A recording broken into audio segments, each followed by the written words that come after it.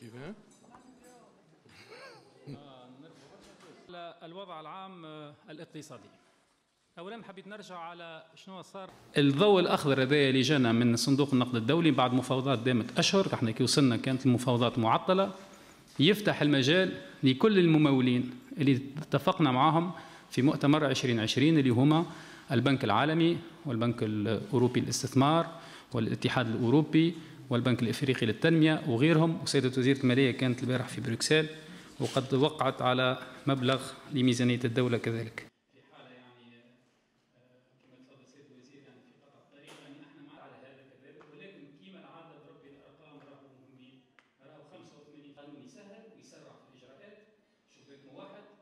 طريقه سريعه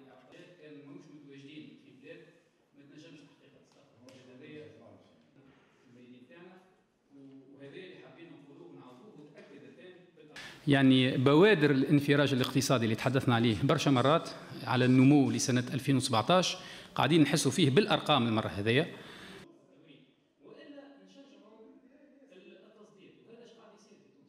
اليوم إحنا نعيش في نظام ديمقراطي واجبنا كدولة أنه نحافظوا عليه والقرارات ستتخذ وكل واحدة في وقتها وفي وقت سريع زاد فيما يتعلق بالوضع الأمني فيما يتعلق بالتنمية فيما يتعلق بعديد من القضايا.